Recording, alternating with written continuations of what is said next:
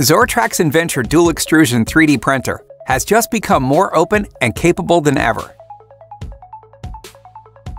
It can now work in both single and dual extrusion mode, supporting filaments available on either standard spools or in smart cartridges. Each new Zortrax Inventure comes with a pair of spool holders. These spool holders can be easily installed in the filament slots on each side of the printer. Once they are there, a spool needs to be loaded and held in place with a cap.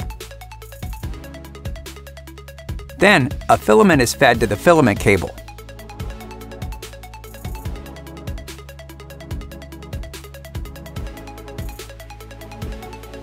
This means that Zortrax Inventure is now compatible with nearly all 1.75mm filaments available on the market.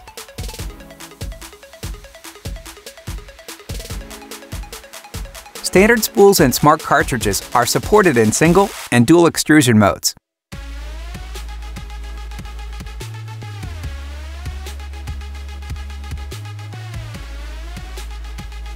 In this mode, support structures are printed out of the same filament as the model itself. Single extrusion works best for models that need to be printed quickly and do not have intricate internal geometries. It is also recommended when the model can be positioned in such a way that no support is necessary for printing it successfully.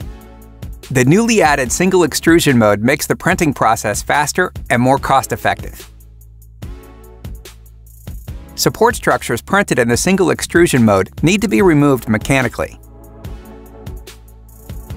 In the dual extrusion mode, support structures are printed with separate, water-soluble support material. It works best when precision, complexity, and quality of surfaces take precedence over speed. This mode is recommended for geometrically complex models like organic shapes or movable mechanisms. Soluble support printed in the dual extrusion mode can be removed even from almost inaccessible places just by rinsing the model in water. Either way, Zortrax Inventure offers unparalleled printing quality, working the way you want with the materials you need.